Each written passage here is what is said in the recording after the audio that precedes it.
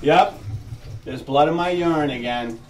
You had to resort to violence, didn't you? Even though I got you those Brookstone rape whistles for Christmas. Not even a thank you note.